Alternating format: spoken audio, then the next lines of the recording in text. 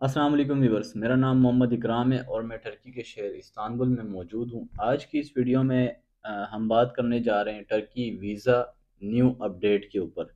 2023 start हो चुका है उस, हर साल नई चेंजेस आती रहती हैं वीज़ा में तो इस साल भी कुछ चेंजेस आई हुई हैं। तो जो चेंजेस हैं, वो तो कोई ख़ास नहीं है, लेकिन आप लोगों को बताना हमारा फ़र्ज़ है ताकि आप लोग अवेयर हों।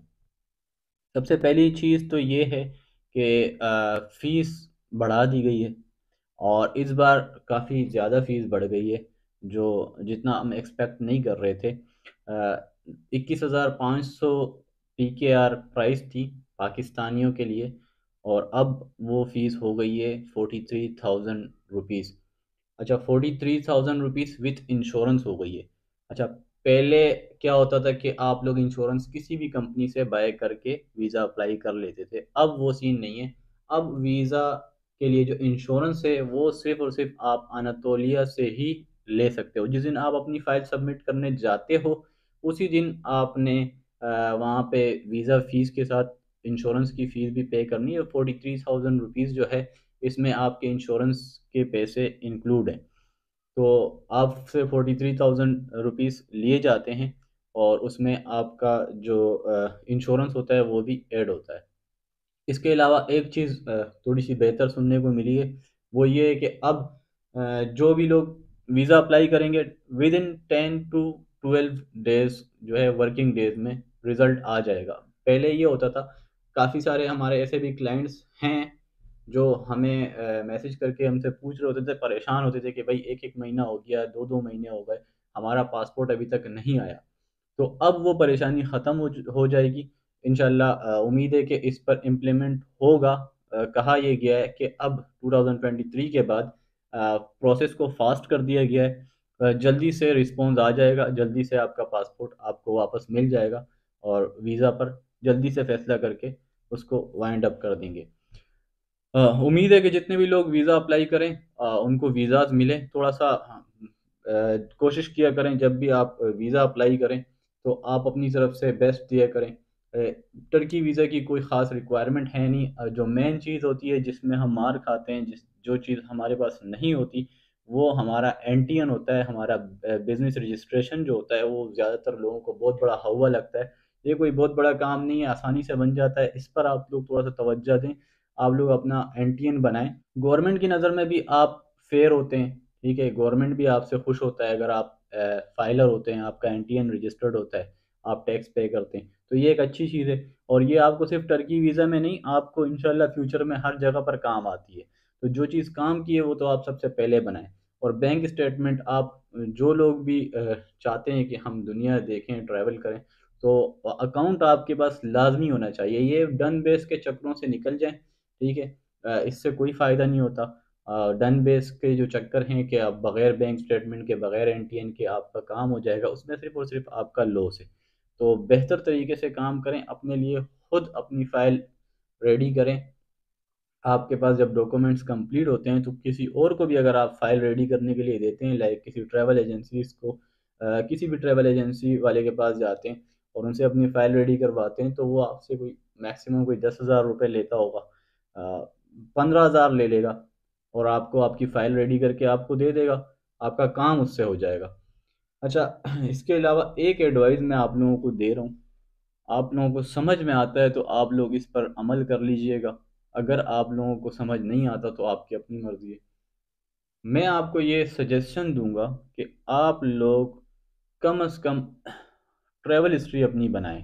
अगर आप लोग चाहते हैं कि हम किसी अच्छी कंट्री में जाकर सेटल हो जाएँ, तो आप लोगों को चाहिए कि आप लोगों के पास ट्रैवल हिस्ट्री होनी चाहिए। अगर आपके पास ट्रैवल हिस्ट्री होती है, तो आप लोगों को वीज़ा बहुत आसानी से मिल जाता है। फ्रेश पासपोर्ट पे टर्की तो वीज़ा दे देता है। टर्की भी बाज़ औक़ात रिजेक्ट कर सकता है, ठीक है? लेकिन अगर आपकी ट्रैवल हिस्ट्री होती है तो टर्की तो आपको बहुत ईज़िली वीज़ा दे देता है। इसके अलावा भी आपको बाकी कंट्रीज़ में भी वीज़ा अप्लाई करते वक़्त आपको थोड़ा-सा कॉन्फिडेंट होता है कि यार मेरी ट्रैवल हिस्ट्री है, पासपोर्ट मेरा थोड़ा-सा स्ट्रॉन्ग है, जिसकी वज़ह से मुझे वीज़ा मिल सकता है।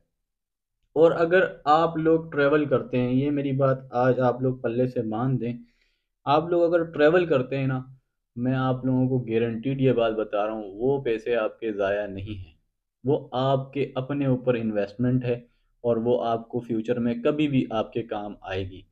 आप लोग ट्रैवल करें उन कंट्रीज़ का जिनका वीज़ा इजीली मिल जाता है।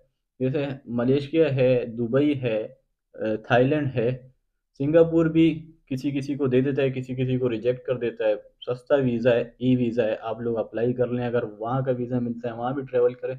ये जो टेरिटरी है, इन, इस टेरिटरी में आप लोग अगर सिंगल ट्रैवल करते हैं लाइक अपना एक ट्रैवल प्लान बनाते हैं, सिंगापुर, मलेशिया, दुबई और थाईलैंड ये जो टेरिटरी आप ट्रैवल करते हैं तो इस पर मैक्सिमम आप लोगों के कोई तीन लाख रुपीस खर्च होते हैं, ठीक है? अगर दो दो दिन, तीन तीन दिन आप लगाते हैं।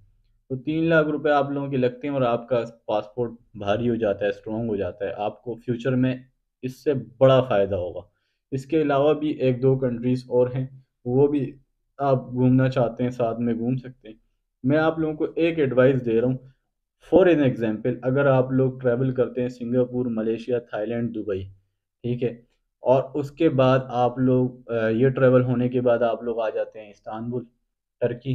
टर्की के साथ आप ट्रैवल कर लेते हैं अज़रबैजान जो साथ साथ का मुल्क है। तो इसका मतलब क्या हुआ? चार वो कंट्रीज़ हो गई, दो ये कंट्रीज़ हो गई, ये छः कंट्रीज़ का आपका ट्रैवल हो जाएगा। जब इस, इन छः कंट्रीज़ का आपका ट्रैवल हो जाएगा तो यकीन जाने कि आप लोगों का पासपोर्ट बेहतरीन हो गया, एकदम स्ट्रॉन्ग पासपोर्ट हो जाएगा आपका।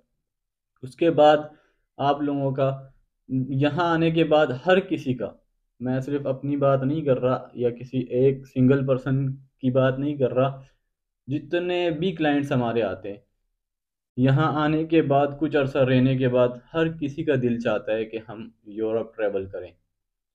तो जब फिर आप लोगों को यूरोप ट्रैवल करना होता है तो उसमें आपको बड़ा सपोर्ट करता है आपका जो पुराना रिकॉर्ड होता है आपकी जो ट्रैवल हिस्ट्री होती है वो आपको बड़ा सपोर्ट करती है। तो इस चीज़ के लिए आ, मैंने आप लोगों को अपनी तरफ़ से एडवाइस कर दी है। बाकी आप लोगों की अपनी मर्ज़ी है। आप लोग अगर इस एडवाइस पर आ, अमल करना चाहते हैं तो ज़रूर करें। अपने ऊपर इन्वेस्टमेंट है आपकी। आप लोग एक तो इन्जॉय करेंगे आ, दुनिया देखेंगे और दूसरा आप आपको ये आपकी जो इन्वेस्टमेंट है फ्यूचर में काम भी आएगी। अपना बहुत सारा ख्याल रखिएगा। मिलेंगे नेक्स्ट वीडियो में। तब तक के लिए अल्लाह हाफ़